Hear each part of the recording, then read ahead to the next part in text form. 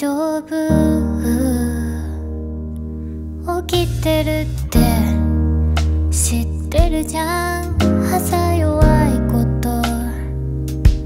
別に機嫌悪いわけじゃないって。そんな話するのに？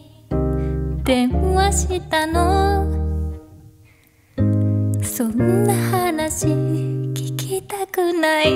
それでもさ分かったからごめんとか言わないで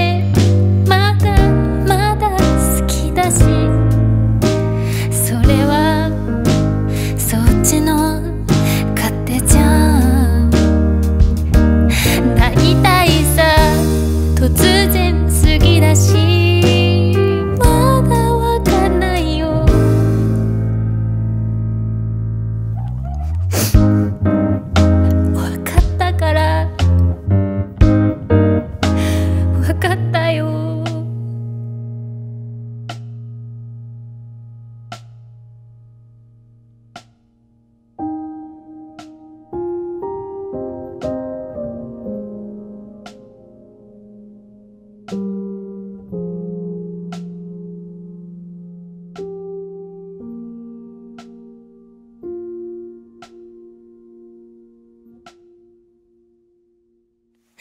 か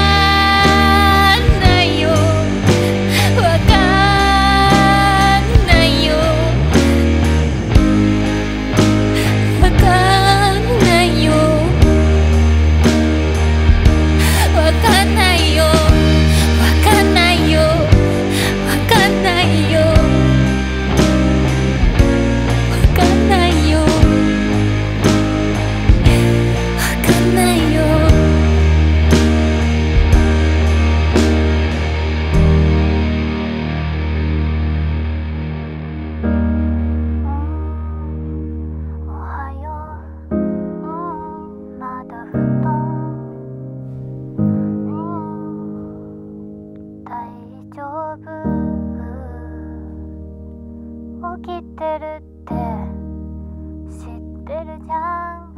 朝弱いこと。別に機嫌悪いわけじゃないって。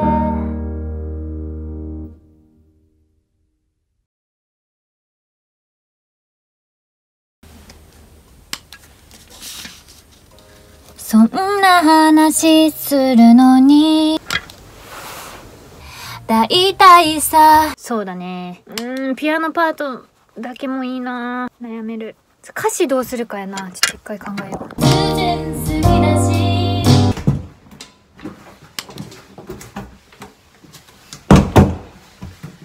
今から撮影頑張ります。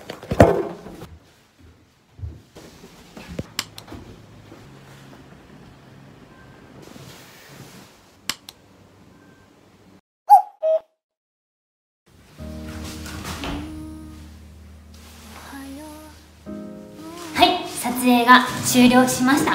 最後まで見てくれてありがとうございます。今回はあのエクスペリアさんとコラボレーションで作品が作れるっていうことで電話をテーマにしようと思って今回生まれたのが「わかんないよ」ですであの今回のこのメイキングじゃなくて MV 本編は全てこのエクスペリア1というこの端末スマホで撮りましたこれすごくない？あのこれのカメラがあのソニーの映画撮影用カメラを開発するチームが監修した機能が盛りだくさんやからこんな風に映画みたいなな映像が撮れるんよでシャッタースピードとかも変えれるのはもちろんのことレンズが変えれるんってすごくてね広角にしたりとかカメラで言ったらさこうやってこうやってここの大きいの変えないとあかんかったりするのがワンタッチでスマホで広角にできたりとかするんがすごくてあとはこの「ルック」って書いてるところは簡単に色味とかもこうやって色味もこうやって変えれる夕方っぽくとか映画っぽい雰囲気とかにできるっていう機能もついてたりでカメラ機能がもう充実に充実をしまくりすぎて充実しているそんな風なこのエクスペリア1あのもし気になった人は概要欄を見てください。で今回の「わかんないよ」たくさんたくさん聞いてもらえると嬉しいです。ありがとうございました。じゃあ次の動画も見てね。バキュン。みんなは失恋したことありますか？忘れられない恋したことありますか？もし今悲しい思いをしてる人もたくさん泣いてその恋愛を素敵な思い出に変えてください。